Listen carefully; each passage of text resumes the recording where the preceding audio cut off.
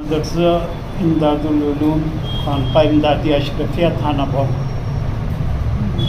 में तालीम शुरू होने और मदरसा खुलने के सिलसिले में गाइडलाइन का बेचैनी से इंतज़ार। अल्लाम नाजरीन, जैसे कि आप अभी देखेंगे, ये नामा नगार मगरबी उत्तर प्रदेश के ज़िला शामली के कस्बा थाना भवन के दीनी इदारा मदरसा इमदादलूम थाना भवन में हाजिर है। और ये इदारा हाकिमुलम्मत मुजद्दुलमिल्लत हज़रत मौलाना अशरफ अली थानवी अलैह ने अपने शेख सईद तयफ़ा हज़रत हाजी इमदादुल्ला रहमतुल्लाह अलैह के नाम से कायम किया था। माशाल्लाह ये इदारा उसी वक्त से महज तवक्ल पर कायम है कि हज़रत की ज़ात वाला सिफ़ात इस्तना वाली थी, आपकी कोई चंदे की तहरीक नहीं थी, उस वक्त भी यहाँ कोई रसीद और मुरवजा चंदे का निज़ाम नहीं था और माशाल्लाह आज भी यहाँ कोई मुरवजा चंदा, मुरवज रसीद, इस तरह की कोई तहरीक नहीं है। ये इदारा महद अल्लाह के भरोसे तवक्ल अल्लाह और हज़रत थानवी रहमत के मनहज पर कायम है। अब आप मुफसल रिपोर्ट देखें, पेश खिदमत है। असलकम नाजरीन छब्बीस दिलहिजा छः अगस्त है। सोशल इंडिया न्यूज़ का यह नामा नगार बिलाल अहमद बिजरोलवी आज मगरबी उत्तर प्रदेश के ज़िला शामली के कस्बा थाने भवन की खान का इमदादिया अशरफिया थाने भवन में हाजिर है। मेरा बुनियादी मकसद यहाँ के तालीमी सिलसिले के बारे में हाजिरी है।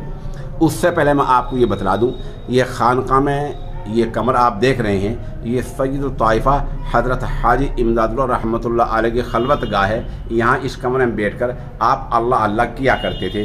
ये बहुत छोटा कमरा होता था। ये कमरे का थोड़ा सा अंदरूनी मंजर है। ये आप देख सकते हैं। उस ज़माने में छत कैसी थी, ये भी आप कमरे की छत को मुलाहदा कर सकते हैं। ये छत उस वक्त से लेकर आज तक इन लोगों ने यहाँ के नादिम साहब ने बाकी रखी है। ऐसा कुछ छत का मंजर होता था। इसके बाद हम आपको चलते हैं। यहाँ दूसरे बड़े बुज़ुर्ग हुए रहते थे। उसी वक्त में हाजी इमदादुल्ला साहब के दौर में ही जिनका नाम है हज़रत हाफिज़ जामिर शहीद थानवी रहमत ये शामली के मैदान में शहीद हो गए थे। ये आपका कमरा है। यहाँ बैठ कर अल्लाह अल्लाह क्या करते थे। आज थोड़ा आगे चलते हैं। यहाँ हकीमुलम्मत मुजद्दुलमिल्लत हज़रत मौलाना अशरफ अली थानवी रहमत बैठ कर मजलिस फरमाया करते थे। यहाँ बैठा कर ये जगह आप देख सकते हैं। और इसके बाद हम थोड़ा चलते हैं आगे, क्योंकि हमारा बुनियादी मकसद तालीम के सिलसिले के बारे में बताना है। ये जो दीनी इदारा है, ये हाजी इमदादुल्ला रहमत के नाम पर कायम किया है। और हज़रत मौलाना अशरफ अली थानवी रहमत ने तकरीबन सवा सौ साल पहले ये इदारा कायम किया था। उस वक्त भी हज़रत थानवी रहमत ने आलमियत के चंद साल तक की यहाँ तालीम रखी थी। आज भी माशाल्लाह, जैसे कि हम मौलाना नजमुल हसन थानवी का बयान सुनवाएँगे, यहाँ दरस निज़ाम के मुताबिक दारूम देवबंद के निसाब के मुताबिक आलमियत के पाँचवें साल तक का निज़ाम है। दर्जा हिफ़, दीनियात की अली तालीम यहाँ यहाँ दी जाती है। और हज़रत थानवी रहमत की जो मतबूआत हैं और वो किताबें काफ़ी दिन पहली हैं या गैर मतबूआ हैं, उनकी इशात की जाती है। अब थोड़ा सा हम ज़रा आग चलते हैं। ये इदारे की मस्जिद है। इसको आप देख सकते हैं। ये इदारे की मस्जिद है। मस्जिद का ये वो वो कदीम हिसाब आप देख रहे हैं, जहाँ हज़रत थानवी रहमत इमामत फरमा करते थे और नमाज़ पढ़ा करते थे। और ये वही जगह और वही आप, हम आ गए हैं। जहाँ कभी मुफ्ती शफ़ी साहब रहमत मोन शब्बीर अहमद उस्मानी रहमत और ऐसे मौलाना जमील अहमद साहब गुम थलवी मुफ्ती अब्दुल करीम साहब गुम थलवी रहमत ऐसे बड़े उलमा रहा करते थे। इसके बाद हम ये मस्जिद आप चूँकि कदीम हिस्सा मस्जिद का, ये आप इसी तरह देख सकते हैं। इसके बाद हम थोड़ा अंदर चलते हैं। तो मस्जिद का ये वो तोसी हिस्सा है, जिसमें तोसी कराई है हज़रत मौलाना नजमुल हसन थानवी रहमत ने। ये वो मस्जिद का जदीद हिस्सा है, जिसमें आपने माशा ये जो है तोसी कराई है। मस्जिद की तोसी आप देख सकते हैं। और ये मस्जिद तकरीबन अंदर से छः सफ़ों पर मुश्तमिल है। अंदर छः सफ़े देख सकते हैं। ऊपर की मंजिल भी इसकी बन रही है। ये मस्जिद की तोसी की है।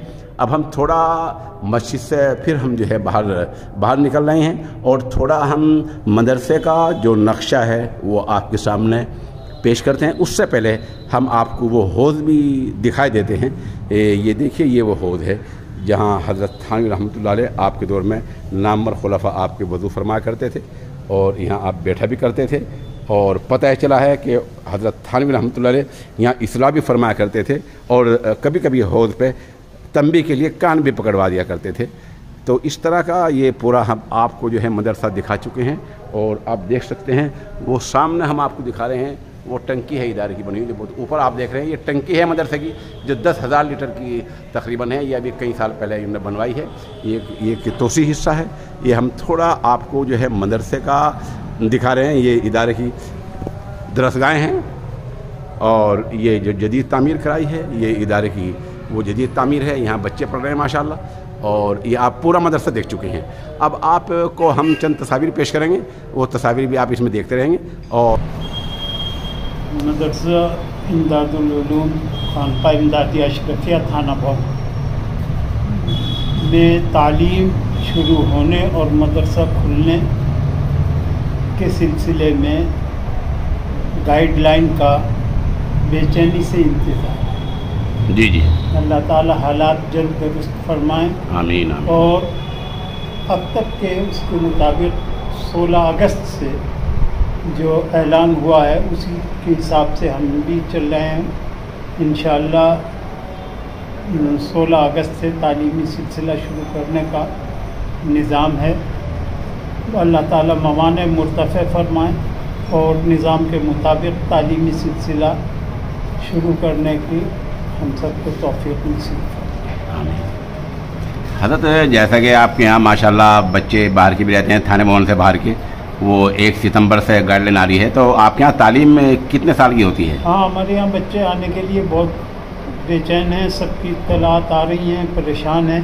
लेकिन चूँकि कोई गाइडलाइन नहीं है तो इसलिए हम उनको दारुलकामा के अंदर फ़िलहाल नहीं रख सकते।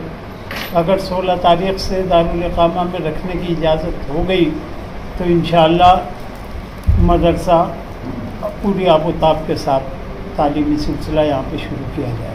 मोहन साहब आपके यहाँ तालीम कहाँ तक होती है? कितने साल की तालीम होती है मौलवियत की? हमारे यहाँ दरस निज़ामी के मुताबिक इसके अंदर एक तो मरकज़ी इदारों के निसाब का लिहाज रखते हुए दरस निज़ामी का जो वो है वो दरस निज़ामी के साल पंजुम तक है। जी यानी मुख्तसरमानी तक। जी। मतलब एक बात यह है इसमें साथ साथ आपके यहाँ दर्ज हिफ्ज़ की और दीनियात की तालीम भी होती है।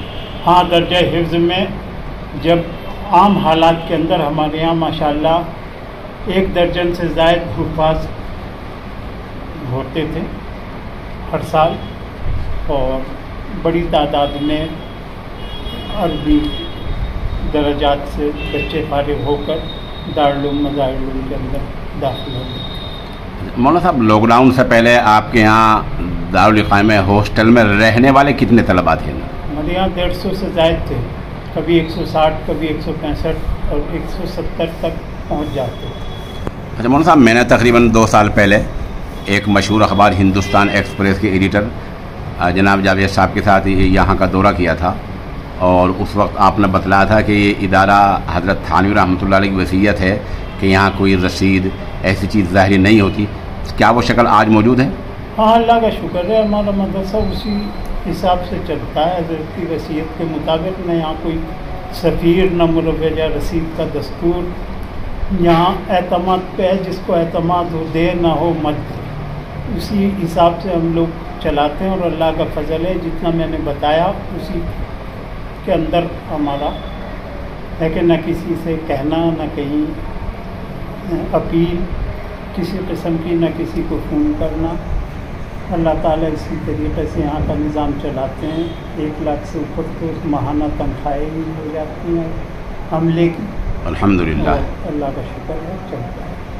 मौलाना साहब मैं आपका शुक्रगुजार हूँ आपने वक्त दिया है।